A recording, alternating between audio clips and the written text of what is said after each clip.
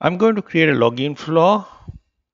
Login flow is a um, flow which is associated with the login. So when somebody logs in, you display a informational message or text input or anything like that. So it's something happen in, at login, or if you want to do some background processing, you do that. Um, yeah. So uh, how you do that is um, you first you have to create a login the flow.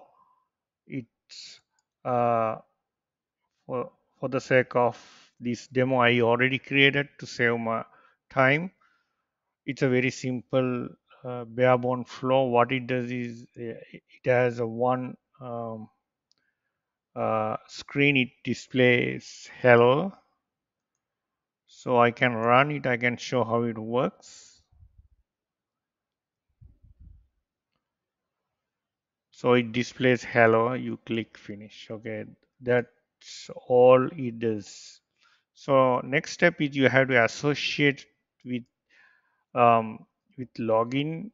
Uh, so how you do that is um, go to setup and quick find box. Type login flow. You go to login flows here.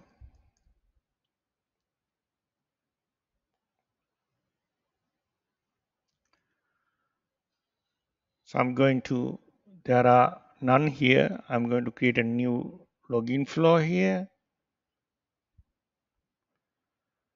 Uh, login flow is a flow. It could be Visualforce Pager flow. These days we use flows. Visualforce pages are kind of obsolete. It's not the pathway forward um, of Salesforce. Flow. I have to select the uh, the flow. I um, so there is a login flow I just created. I select it. Name um, let's say login message. User license. I select none here.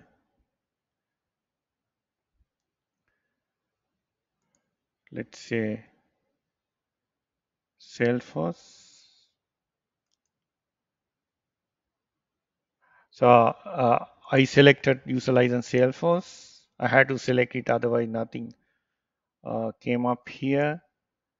Uh, if you select none here but still you you could save it.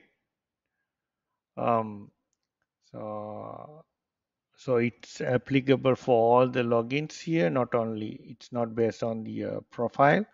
At this moment I'll click save here. So there's an error here you, this cannot be run you have to select the user, license I want to show what I did so uh, select the user license and then it's specific to the uh, profile. You select the system administrator. I tried earlier to activate for all the profiles. It didn't work. So it, I made that error intentionally to show it to you. So you, you this is specific to profile. That's um, these are the all um, the available profiles. So you, if you want to create a login flow um, uh, specific to the permission set or anything, you cannot do that right now. Salesforce functionalities, you have to create a login flow with based on the profile. Then click login. Okay, it is active here. What you do is let let's test it, right? So I I'm I have an incognito window let me enter my user ID and password. Let's see how it works. I have the system administrator license. I'm the, sorry, profile. I'm the system administrator. So we, um, configured is only for prof, uh, system admin profile.